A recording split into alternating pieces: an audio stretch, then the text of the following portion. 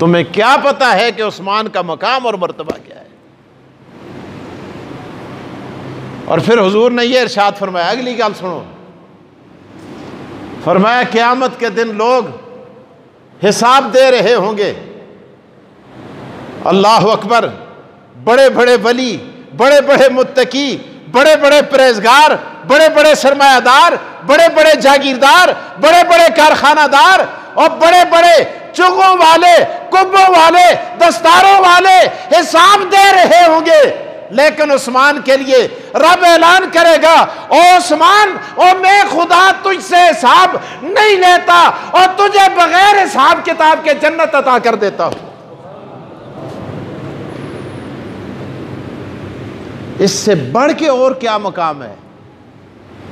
और आपको पता है कि सैदना उस्मान जिन्नूरैन को अल्लाह ने यह मकाम दिया क्यों? यह भी हुजूर सलाम ने दुआ फरमाई थी। ईद का दिन है। हजूर सलाम नमाज़ के लिए जा रहे हैं। छोटी ईद ईद उल फितर। अजवाज मुतहरात ने अर्ज़ किया, या रसूल अल्लाह आप नमाज़ के लिए जा रहे हैं। आप जाते हैं बेवाएँ आती हैं, यतीम आते हैं, माजूर आते हैं, मिस्कीन आते हैं, मुख्ताज आते हैं, भूखे आते हैं और प्यासे आते हैं, मफलूकुल हाल आते हैं और मुसाफिर आते हैं कि आज ईद का दिन है। मोहम्मद मुस्तफ़ा के दरवाजे पे जाएँ ताकि हमारी तजोरियों में कुछ डाल दिया जाए।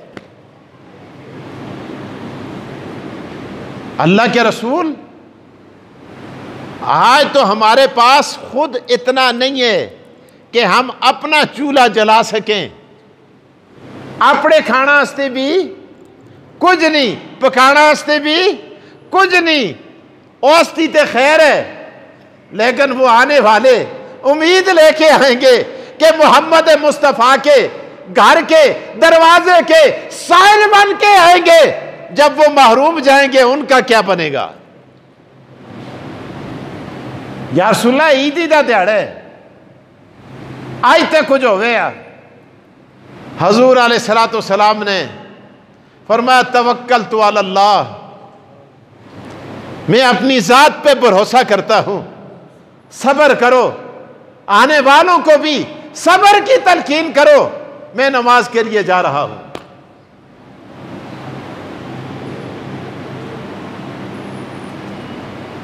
ये वो वो हस्ती है, जिसके घर में ईद के दिन भी पकाने के लिए कुछ नहीं, जिसकी खातर रब ने ये जहान के ख़जाने बनाए हैं। सच फरमाया महबूबा, खजाने सारे तेरे अल्लाह अकबर। चले गए। हज़रत उस्मान ने चालीस ऊँट गले से, खजूरों से, पनीर से लदे हुए मोहम्मद मुस्तफ़ा के, नबी अलैहिस्सलाम मसीती को गए। इधर हज़रत उस्मान का ऊँटा का लदे का काफिला। एक ऊँट तुस्ते शाहजोरा इतना सामान चाहता है, इसको भी ज़्यादा। बल्कि ज़्यादा लदो तो ट्रक है इतना सामान चाहता है। ये ऊँट तुस्ते खोते नालों नहीं होते। ऊँट बहुत बड़ा सामान उठाता है और लद लद कर हज़रत उस्मान ने अजवाज मुतहरात के उजरों में भेजे। हसब मामूल, हसब सबक, बेवाएँ, यतीम, मस्किन, गरीब मुख्ताज सारे आका दो जहाँ के उजरों पर अजवाज मुतहरात के दरवाज़ों पर पहुँच गए। नबी सलाम वापस आए। आपने देखा? लोगों को गुथे भरे दे पढ़ना चाहिए झोलियाँ भरी दियाँ। अल्लाह अकबर उठाए हुए माल और गल्ला लेके जा रहे, मुस्कराते हुए जा रहे। कि आज मोहम्मद मुस्तफ़ा ने और हमारे दामन को भर के हमें घरों को रवाना कर दिया। हजूर ने आके पूछा और जदू मैं जुलदा सा तो तुम ये आखते ऐसे घर पकाना कुछ नहीं और इन्होंने लोगों को कुथों देते अल्लाह अकबर। अजवाज मतहरात ने अर्ज़ किया, या रसूल अल्लाह आप तशरीफ़ ले गए। हज़रत उस्मान ने चालीस ऊँट।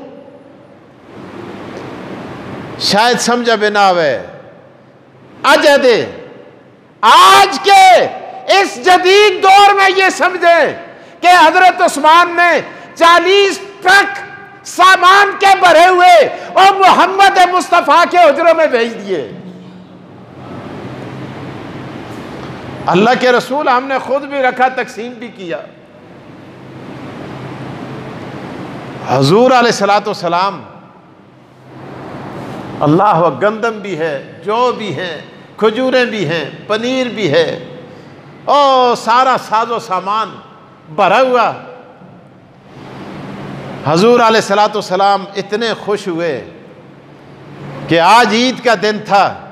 लोग उम्मीद लेके आ रहे थे, अगर मेरे घर से ना उम्मीद होके जाते, अरे गुरबा का दिल टूट जाता।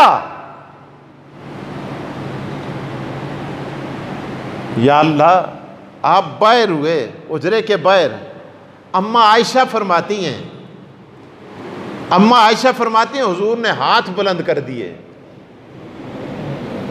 अं जदू नबी अलैहिस्सलाम दुआ कर दे ऐसे ना तो हाथ इथे रखते ऐसे। अब हज़रत उस्मान के लिए दुआ हो रही है। हजूर सलाम ने हाथ यूँ नहीं रखे, बल्कि हाथ यूँ बुलंद किए। और ऊपर भी चादर है, नीचे भी चादर है। ऊपर भी चादर, नीचे भी चादर। अम्मा फरमाती है, उम्मुल मोमिनीन, सैयदा आयशा, के हुजूर के हाथ बुलंद हुए। इतने बुलंद हुए।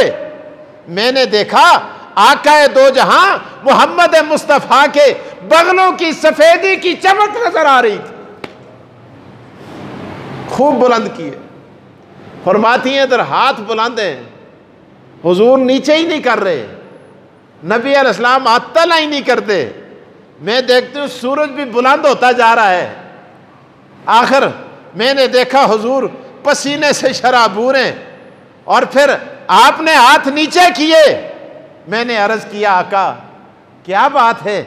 आज आपने बड़ी लंबी दुआ फरमाई।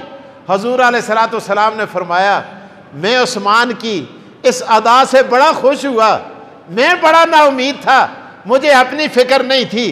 गुरबा की फ़िक्र थी। अपनी फ़िक्र नहीं थी। मसाकिन की फ़िक्र थी। अपनी फ़िक्र नहीं थी। युतामा की फ़िक्र थी।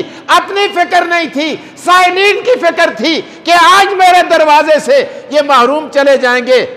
मैंने खुदा की बारगाह के अंदर इल्तजा की। खुदाया, उस्मान ने मेरी इज़्ज़त रखी है गुरबा के सामने। रब्बा, क्यामत के दिन तू उस्मान की इज़्ज़त रखना।